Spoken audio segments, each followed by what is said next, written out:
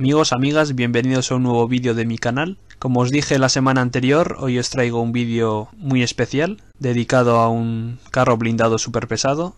Y bueno, pues este carro super pesado pues va a ser el Mouse. Bien, antes de entrar de lleno con el tanque Mouse, eh, vamos a contextualizarlo un poco, ¿no? De dónde surgió la idea de construir el Mouse y cuáles eran sus anteproyectos. Eh, para ello debemos situarnos en 1942, cuando la llegada de los carros pesados rusos en los escenarios bélicos pues hicieron que Alemania buscase nuevos tanques superpesados pues para poder enfrentarse a esta nueva amenaza. Y bueno, y para ello pues se entregó un contrato a Porsche a finales de marzo de 1942 pues para diseñar un nuevo carro de combate de alrededor de unas 100 toneladas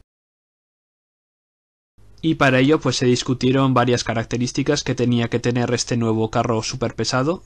Por ejemplo, pues tenía que tener un cañón de unos 15 centímetros o 150 milímetros. Eh, también los proyectiles que lanzara el cañón deberían ser eh, completos en uno para tener una mayor cadencia de tiro de hasta 4 disparos por minuto. Y también el cañón tenía que tener una elevación en torno a unos menos 8 grados a más 15 grados pudiendo llegar a más 40 grados en cualquier posición de la torreta. Y a este diseño pues se le pasó a llamarse el VK 100.01.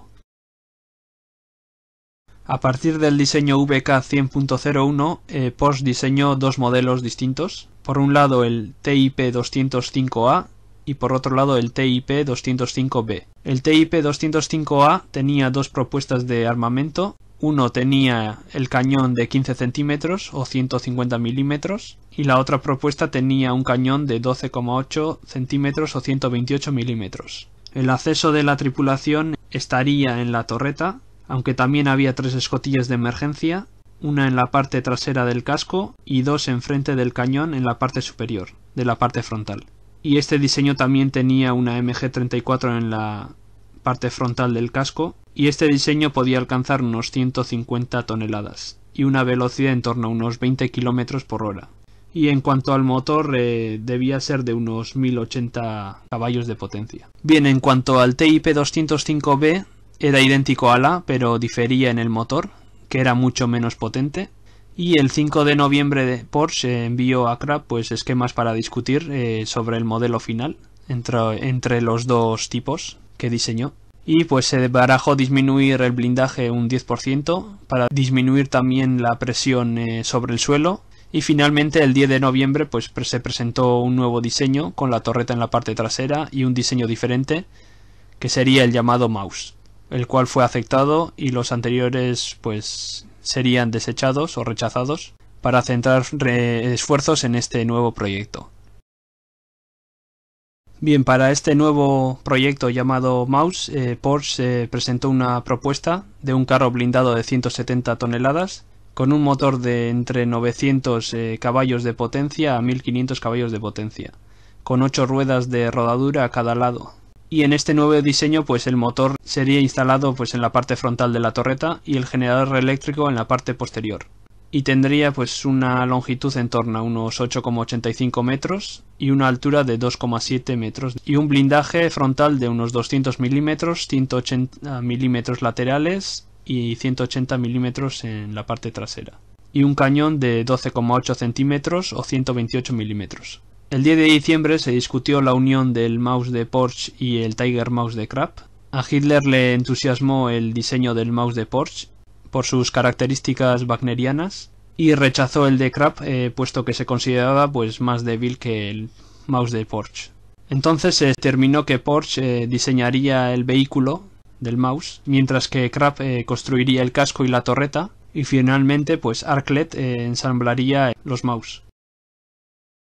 Bien, aceptado el diseño final del mouse de Porsche, Porsche y Crab discutieron varias propuestas de diseño estas propuestas pues eran eh, poner la torreta atrás con el conductor separado de los demás, el motor en medio y un blindaje frontal y trasero de unos 200 milímetros y 180 milímetros en los laterales. Y como motor se barajó el, motor eh, Daimler-Benz Flug DB603 de 1200 eh, caballos de potencia, incrementando así su peso en 10 toneladas. Y en cuanto al armamento, pues debía ser de un cañón de unos 12,8 centímetros o 128 milímetros. Y también eh, se mantuvo el cañón eh, coaxial de 7,5 centímetros o 75 milímetros y se eliminó la MG34 y se sustituyó por un cañón antiaéreo de 2 centímetros o 20 milímetros. Bien, una vez se diseñó el mouse eh, definitivo y completo, ya se empezaría a construir el primer prototipo y para ello pues se presentó a Hitler un mouse eh, a escala en madera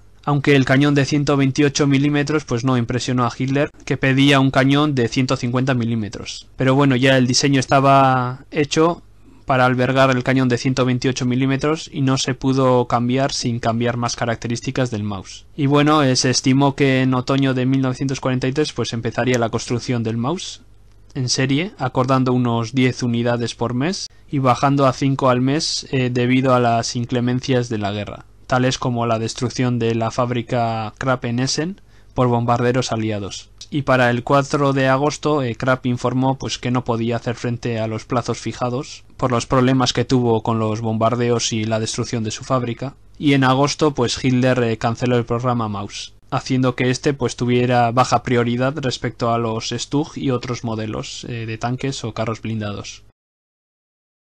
Aún así, el primer prototipo sin torreta de mouse estuvo listo para diciembre de 1943, empezando las pruebas ese mismo mes, y a este prototipo también se le llamó el V1 o el TIP 205.1 y al final para junio de 1944 pues se concluyó el mouse con una maqueta de torreta que no era la maqueta real puesto que esta fue diseñada pero jamás se montó en el V1 y como motor pues se utilizó el Daimler-Benz MB509 gasolina de 1080 caballos de potencia. En marzo de 1944 se entregó el segundo prototipo V2, como el anterior, se produjo sin la torreta, que aún no se había producido en las fábricas scrap y además pues de aparte de este contratipo pues aparecieron más problemas pues como por ejemplo el motor que no llegó hasta septiembre de 1944 en este caso el motor era un Daimler-Benz MB517 diésel de 1200 eh, caballos de potencia.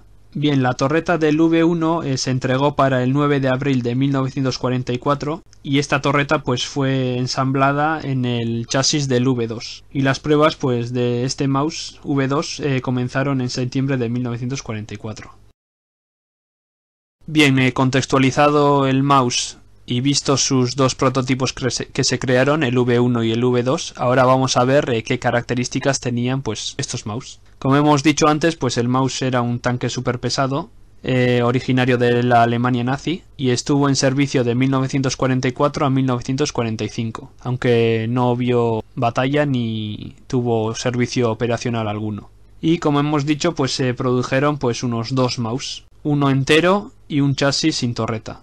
En cuanto a la tripulación, eh, constaba de seis hombres, un comandante, un operador de radio, un conductor, un artillero y dos cargadores. En cuanto al blindaje estaba entre 50 a 220 milímetros. Como arma primaria tenía un cañón KWK 44L-55 de 128 milímetros y como arma secundaria tenía un cañón coaxial KWK 44L36,5 de 75 milímetros y una ametralladora MG34 de 7,92 milímetros. En cuanto al peso era de unos 188 toneladas y como motor, eh, el V1 tenía el Daimler-Benz MB509 gasolina de 12 cilindros y el V2 tenía un Daimler-Benz MB517 diésel de 12 cilindros. La velocidad estaba en torno a unos 13 a 18 km hora y la autonomía estaba entre unos 160 km en carretera y unos 62 km de campo a través.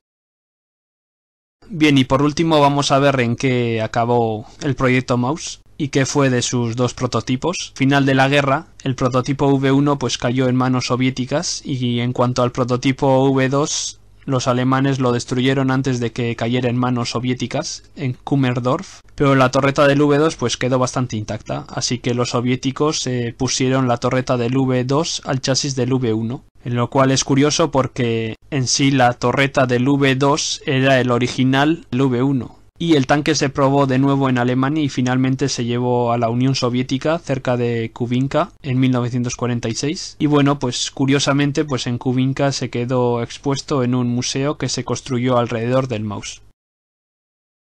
Bien y por último veremos eh, las cadencias que tenía el mouse. Por un lado, pues a medida que avanzaban las pruebas, pues dos problemas se hicieron bastante evidentes, ¿no? La primera fue la relación potencia-peso, que era muy baja, tanto que no alcanzaba pues los 20 km hora. Apenas alcanzaba los 13 km hora en condiciones ideales. Y el segundo problema que tuvo el mouse era la naturaleza táctica del mouse, puesto que este pues no podía cruzar eh, ningún puente u otros obstáculos como pendientes elevadas o terreno abrupto. Y esto ha sido todo por hoy, amigos y amigas. Espero que os haya gustado el tema del tanque super pesado mouse. A mí personalmente me ha encantado. Y bueno, he intentado transmitiros y exponeros el tema eh, de un modo fácil, fluido, sin ser muy pesado. Y nada más, eh, si os ha gustado, dejar un like. Eh, si no os ha gustado, dejar un dislike. También podéis dejarme cualquier duda, sugerencia o comentario en la caja de comentarios abajo del vídeo y la próxima semana eh, os traeré un nuevo vídeo relacionado estrechamente eh, con el tanque mouse que va a ser el tanque Lowe un diseño de prototipo que no pasó de los planos pero guarda mucha relación con el tanque mouse así que os aconsejo que no lo perdáis porque va a ser una tremenda sorpresa. Así que nada más por mi parte que tengáis una buena semana un saludo a todos amigos y amigas hasta la vista